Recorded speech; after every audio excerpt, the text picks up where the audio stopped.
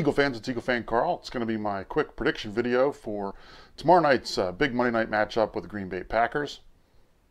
The 1 o'clock game has just ended here on Sunday afternoon, uh, so we know exactly where we stand as it relates to the rest of the division. Of course, Dallas won again, beating the Redskins, which, as much as I hated it, that actually helps us. Uh, and the Giants just beat the uh, Browns this afternoon. Uh, so that's where we stand right now as it relates to the NFC East. So we have an opportunity to gain some ground on the Redskins. Uh, the Giants' schedule coming up uh, could present some possibilities for gaining on them in the future. Uh, so this is an important game for us. We really need to win this game to have any shot at making a wild card, which I really think we have a good shot at doing that. But if we don't win the game this week, then a lot of that goes out the window. So let's take a look at the game against the Packers and see exactly uh, how we line up against them.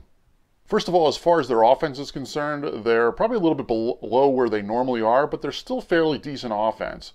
They're 13th in overall yards and they're 10th in points. As it relates to the passing versus running break breakdown, it probably doesn't surprise you to find out that they're better passing than running. They're 10th in the league in passing and they're 20th in rushing. So trying to keep Aaron Rodgers in check is obviously going to be the main thing we're going to have to do. Uh, and getting pressure on Aaron Rodgers is also really important as well. Uh, because they have given up sacks this year. 18th in the league in terms of sacks surrendered. They've given up 24 this year. So that's an opportunity for the Eagles, I think, to really make a statement in this game, get the pass rush going again, which has been sort of lack uh, of late. And uh, I think if that's a way that we could really uh, stop their offense, it's going to be by getting a good pass rush on Aaron Rodgers and maybe getting some sacks, putting them in some long uh, yardage situations. The really interesting thing about the Packers is the other side of the ball, and that's their defense. They've actually been very good against the run this year. They're sixth in rushing defense, but they're 23rd in passing defense.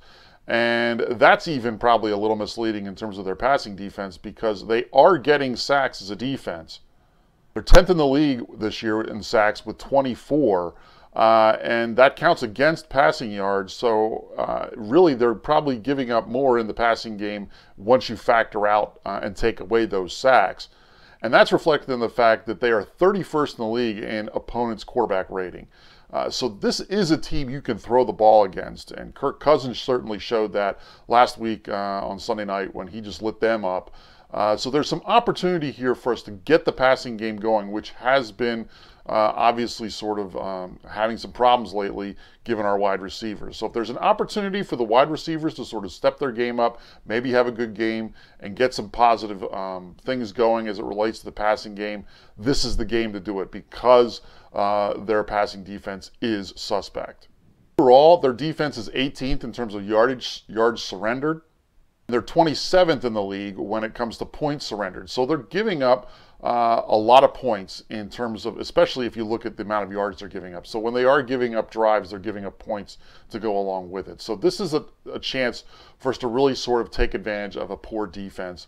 Uh, and if there's a time to do it, now's the time to do it. Also, since they are a little bit better against the run than they are the pass, if there's a week that we're going to have some of our running backs not be able to play, like Ryan Mathews, this is the week. Uh, so uh, hopefully we can maybe get a guy like Wendell Smallwood a little bit more in terms of his carries uh, and see what he can do. But ultimately, I think we're going to have to try and win this game through passing the ball. Uh, not getting out of out of control like Andy did, and you know, seeing a, a, situation like this and throwing the ball 80% of the time. We can't do that. We still have to remain balanced. But I think that there is an opportunity for us to really do stuff through the air against this defense. Another interesting stat in looking at this game, one of the stats that's so important as it relates to the NFL is turnover differential. Uh, the Eagles have been doing very well on the turnover differential this year, and the Packers have not. In fact, we're a plus four, which is eighth in the league, and they are a minus six, which is 27th in the league. So there is the opportunity, if we can take advantage of that and get turnovers, uh, that's certainly a way that we could end up winning this game. And when you look at the Packers' record, uh, you would think with some of the talent they've got, especially on offense, that they'd be able to do some stuff. But I think it's been the turnovers that have really hurt them in games. So if there's if we can win the turnover battle, I really think we can win this game. And matter of fact, I do feel pretty good about this game.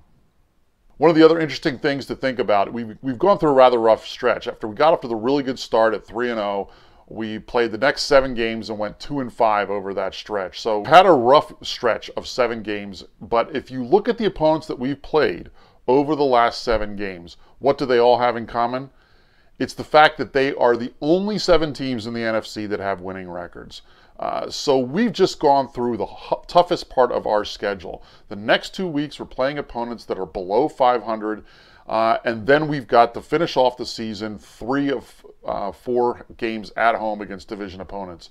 Uh, so there is the opportunity for us to have a little bit of a run here. Uh, so from that perspective, I don't think this season is lost. Uh, and I think that this is the game that sort of sets it up. We need to win this game, and I think the Eagles know that. Uh, I think they are going to be desperate. We have been playing much better at home than we have on the road. So I really expect the Eagles to come away with a win in this game.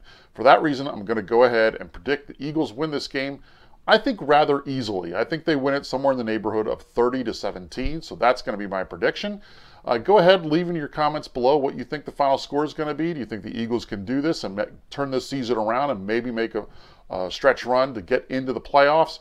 Uh, or do you think the season's over and we just need to forget about it? Uh, leave your comments below. Let me know what you think. Of course, I'll check in after the game, let you know what I thought. Until then, fly Eagles fly.